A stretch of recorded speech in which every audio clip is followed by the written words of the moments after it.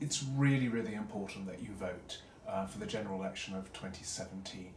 I first voted in the general election in 1987 and have never missed one since. I voted in local, general, and of course uh, European elections as well. Voting is, I think, a vital part of being a good citizen, and I would suggest that actually this election on June the 8th, 2017, is probably going to be one of the most important in your lifetime as we think about how we move on from momentous decisions such as Brexit, which occurred last year.